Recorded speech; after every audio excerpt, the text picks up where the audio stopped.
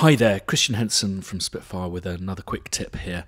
Um, today, uh, again, it's just yet another one of these workarounds for doing any work, really. Um, I really admire people who do fantastic glitch editing and that kind of fine editing and chopping up and dicing and all of that kind of stuff. But I'm. I'm not great with a pair of scissors at the best of time, but certainly not on my door. And as I've mentioned before, I don't have that much time on my hands usually. So I've found a good cheat for glitch editing. If we have a listen to this loop, etc., etc. Good Chad Smith drumming for the Grange there. Um, and I've stuck a tremolo on it. Uh, I make it so it's uh, not smooth, it's, it's really harsh, but the depth about 88%. So it, ostensibly, you hear just a little bit of the loop still in there, but um, it's the.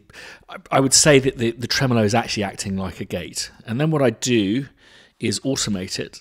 So starting with direct current there, coming down to crotchet beats or uh, fourths. Um, so let's have a listen to what that sounds like.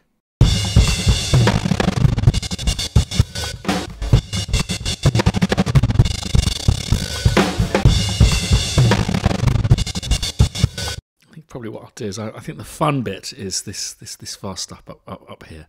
So we'll just do that.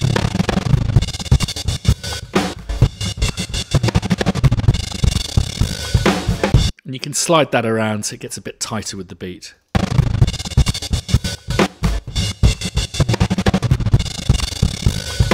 To make it sound as musical as possible. The other thing I've done is also take uh, an orchestral, and I do love completely effing up orchestras, if you know what I mean. So this is um, a thing I did recently, which is an absolutely massive string band at Air Studios playing a five octave unison uh, riff. And uh, what I've done is I've done the tremolo as before. Sorry, that's the other one. Done the tremolo as before uh, but you'll see that I've got it slightly out of phase because it's not a rhythmic thing. It's not like a loop. We don't have to have it in phase, so the, it'll create a bit of an auto pan as well. I've smoothed it a bit more, and you'll notice that the depth isn't as far down.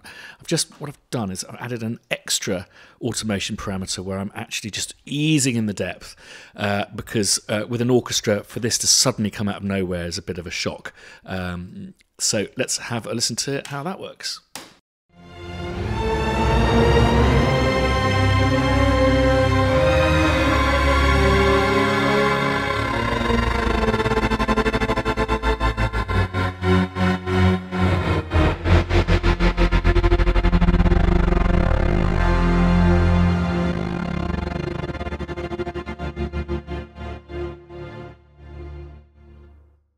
So there we go glitch editing without any scissors. Thanks for listening.